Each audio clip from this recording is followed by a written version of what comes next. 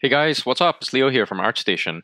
In this video, I'm going to be talking about a feature on ArtStation that a lot of you might not know about, and that is how do you make vertical images appear large, and that is like it stretches right across the screen. Now, when you upload to ArtStation, like uh, you'll notice that it will fit the images in the viewport like this. This is overwhelmingly how people want to view artwork. They want to see the entire image and they can zoom in if they want to. But some of you guys, you just want the image to stretch across the screen like this. I will show you how to do this. Now, some of you are trying this workaround, which is to split your images so that it will maximize the amount of image that shows up, uh, but you don't have to do this at all.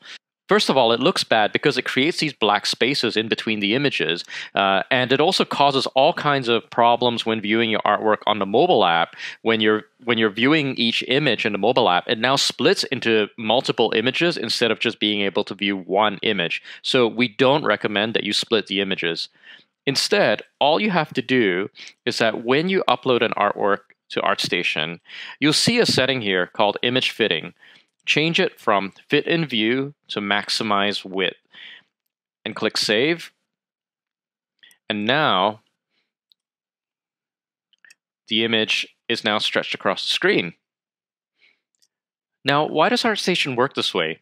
So the vast majority of people, when viewing artwork, they want to be able to see the entire image at once without being forced to scroll.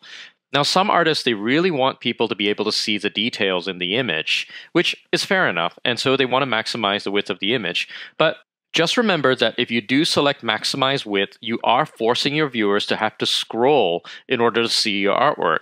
And you may end up in a situation where someone important, like a recruiter, has to view your portfolio and they're just only going to be able to see the top part of the image. And that's really not great.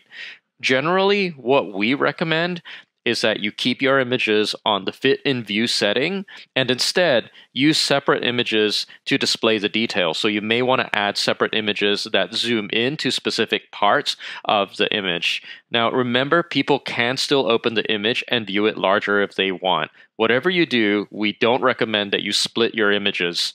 Hope that helps. Let us know if you run into any issues by contacting support. Until next time, thanks.